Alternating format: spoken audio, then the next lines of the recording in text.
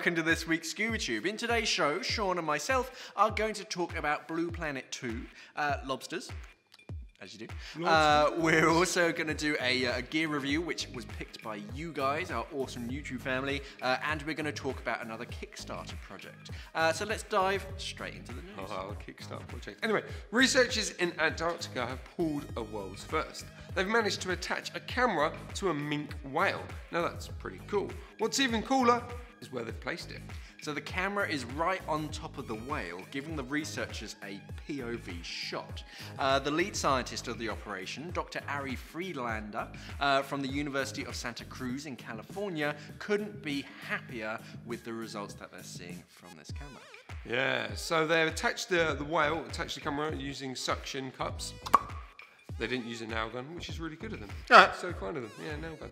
Anyway, so they don't hurt the whale, obviously. Uh, the POV shot is a great way to see how the whale feeds and also what it eats in the oceans, tyres and plastic bags. Oh, no, that's sad. Um, Minke whales move up to, uh, to 24 kilometers per hour. So, uh, so having the opportunity to see uh, that is just an amazing experience. Um, and it's no surprise how happy the team are and the fact that the suction cups are so good.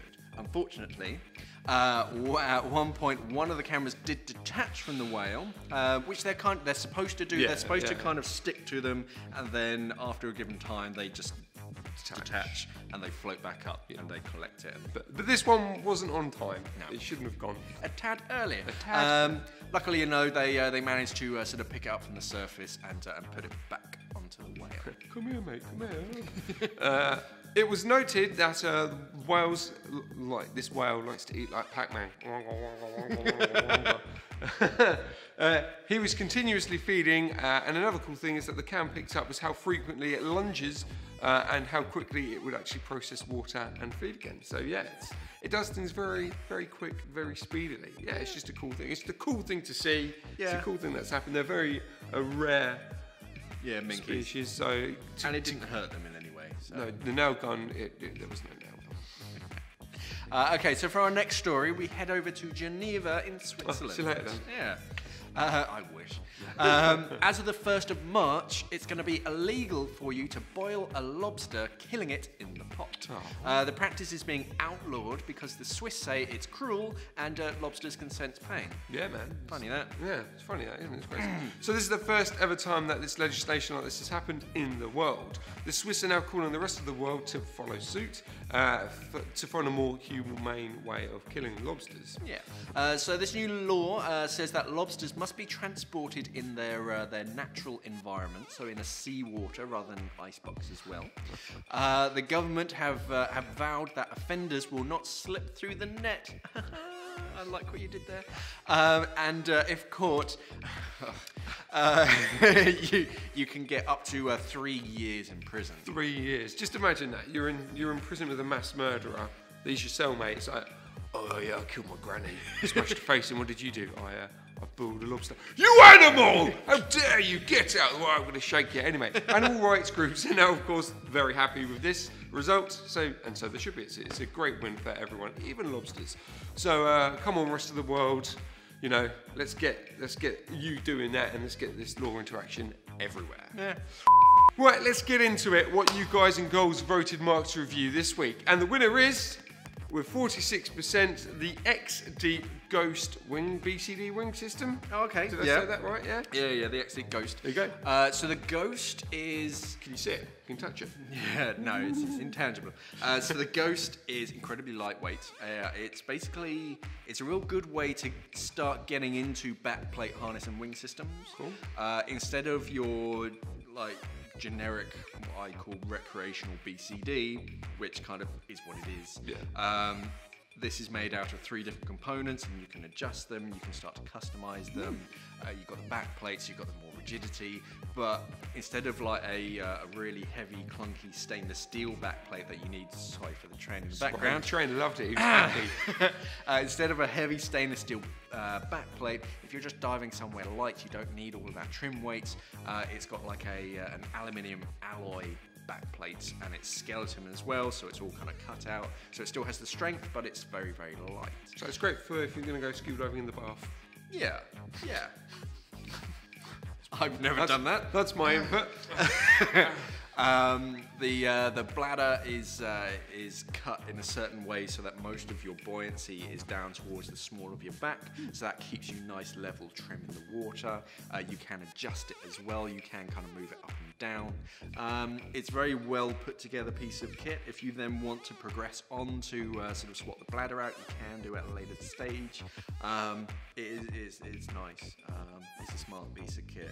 well, that's probably why people voted for it. Yeah, I So was. to talk about it. Yeah, I am tempted by one. Um, I haven't sort of got one yet, just because. uh, it does. It does come in two different versions. You get the deluxe and the. I think they just call it the standard version. Uh, the standard version is a bit more DIR, so it's just single piece webbing, uh, whereas the uh, the deluxe harness has a bit of padding and some pinch clip adjustments, uh, if that's what into. Cool. Uh, but overall, good BCD. Um, Good system. yeah. yeah, I'm trying to think of downsides. Uh, If you're using it in the UK, it doesn't have that trim weight that you'd want from a like a stainless steel backplate. Um, you can only use it for single cylinders, but it's all it's really made for. Uh, and you can swap the bladder at a later stage. But yeah, it's, it's a decent BCD. I highly recommend it. Cool. Right. So the vote's now open for next week's show. So should have just popped up there. Get voting. Anyway, let's talk about our last story in today's show. Keep Britain Tidy has gone on record saying that Blue Planet 2 was a game changer when it comes to pollution in our waters. Since the show aired, there's been a massive surge of interest to help clean our waters. Yeah, so so much that the uh, the charity is now looking to recruit 400,000 volunteers to help with this year's Great British Spring Clean. Uh, they've said that as environmentalists, uh, we've been seeing, uh, or we've been seeing, sorry, uh, plastic pollution for a long time. But now the general public have been exposed to it. Uh, they want their government and politicians to do more. Yeah, the spring clean happens the first weekend of March. Uh, if you want, if you're watching this video on YouTube, then I've linked the sign up below. If you're watching this on Facebook, well, yeah, you know what you need to do. So yeah, get out there, get cleaning your local beaches and its waters. Yeah. Uh, so it's that time again, Shaun. Uh, so what have you picked for this week's Kickstarter? He's excited about this one. I'm really, yeah, it's kind of cool. It's cool, man. So okay, this week I've picked a cancelled Kickstarter. So there's not much out there. No, no. Like for scuba diving, if, if, if unless it's a um, like an air cylinder type thing, there's not there's not really much out there. yeah, there's a lot of snuba stuff. Yeah. Bits and bobs. Literally, it's all like air pump stuff. But anyway, this one was called the Extra Breath Snorkel. Um, so it's a squeeze pump. That, but actually, no. Right, let's pause that. So what it does, you got your regular snorkel. yeah. Yep. Then you attach this to the outside of it, and basically what it is, and you connect it through the the diaphragm at the bottom. Yep. Um, and what it does is basically it's like a little cylinder that attaches, and it's got a little pump. So when you're on the surface, you squeeze the pump, it fills the cylinder or the bladder with air, and then you can go down. Like obviously you can snorkel, like breathe normally. When you go down deeper, if you want a bit more bottom time, you release the valve, and then it just lets some air in, and then you can breathe further underwater. Apparently you can you can have about double bottom time. Obviously, it depends on how you know how you can hold air for and obviously breathe it out. But yeah, I thought it was quite cool. yeah. It's yeah, obviously it got cancelled, so it didn't really go anywhere or do anything. It's just yeah, What do you guys think about Yeah, it? yeah. Uh, obviously, exhale on the way up. Um, yeah, we're not endorsing this product. In no, way. no, no, well, no, it's cancelled. the, the, the, the, it is cancelled. It, it did not get made. It's just an interesting, an The interesting thing, yeah. concept. It's an interesting concept. Yeah, yeah, we're, we're seeing a lot of that for the snorkelers, uh, like with like spare airs and stuff, where um, it's, it's designed for snorkelers. You, you go down and it's kind of like real entry level scuba. Um, you just have to be careful with it. Yeah, or, yeah, that that sort of thing. When it comes to cylinders and snorkeling, it's a very yeah, it's a really dangerous area. But yeah, I thought that was it. It's Yeah, just- if you drop your watch, it'll be quite nice. You're like, oh no, kind of dive down. yep. Mm. Pick it Got up. it. Boom, boom, boom. Yeah. Yeah, but other than that, That's probably why it was cancelled. But it's cool. it was cool. Uh, okay, that's it for this week's show. Uh, join us next week because we have some exciting news for you. Um, spoiler alert, something's going to be changing. Something. I, I wonder what's going to be changing, Mark. Your shirt, for once. Uh, Stop laughing, James. Um, yeah, there's some new exciting news uh, and update to the channel. Uh, thanks for watching. Stop laughing. Yeah, what's he laughing for? It's ex- you do know your your wiggling about is making the camera wiggle. Yeah, you're on thin ice, James. Yeah. Anyway, guys. Not long for this company. Yeah. Thanks for watching. Safe diving. Bye. Number 4. Don't leave your electronics charging unattended.